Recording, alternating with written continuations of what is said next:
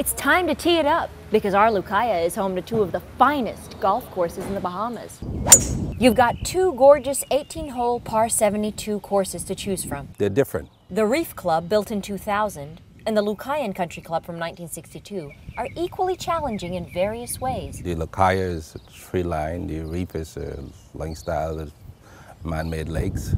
If you're afraid of the water, you play Lucaya. A strong short game is required for the Reef Club. 13 holes are bordered by picturesque lakes, whereas bunkers guard almost every pin on the smaller elevated greens of the Lucayan Country Club, a favorite for avid golfer Wilton Williamson. I've played a lot of courses throughout the uh, Bahamas, throughout the Caribbean. It's a great course.